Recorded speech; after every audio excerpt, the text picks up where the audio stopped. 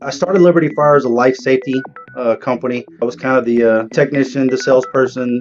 You know, I did everything by myself. And over the years, we've grown this business into 31 employees. We handle all types of life safety systems. In my industry, we have to have CAD drawings. I've used AutoCAD since I started in 2005. So bought the AutoCAD version and just started working with it. And learning it. And so I pretty much learned AutoCAD all by myself.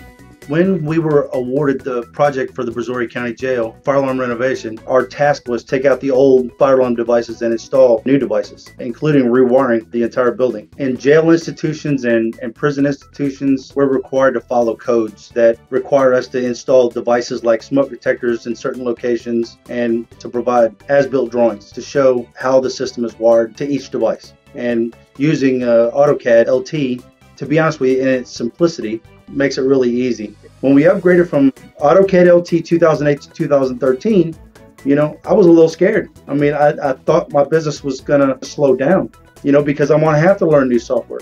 And it turns out, you know, it didn't stop me at all. Matter of fact, it actually sped it up that much more. AutoCAD has increased my being able to do my CAD drawings 25% faster.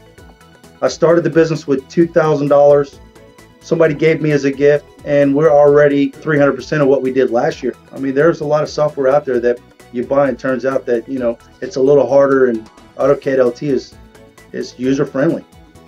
I mean, it's easy to use. I don't know how else to put it. It's easy to use. I mean, for somebody who's self-taught uh, using AutoCAD uh, LT, I mean, there's I can't imagine anybody else wanting to use anything else.